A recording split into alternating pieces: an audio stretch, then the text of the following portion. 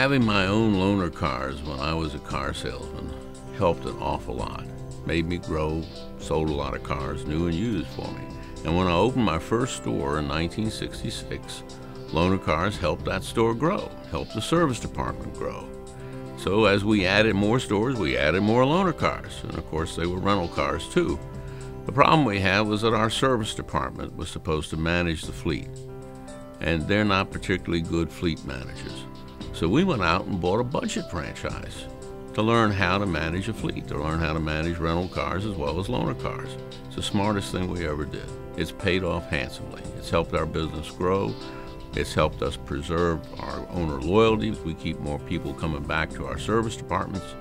And any dealer can do the same thing. It's a natural for us. We have all the facilities to be in the rental car business. It's silly for us not to be. And it's even sillier to have somebody coming on our lot, renting cars to our customers, getting our customer list, and they're getting paid for it. Plus, they take up space that we have. They take space on our lot. We provide them with facilities, and we don't make any money doing that. You can fix all that.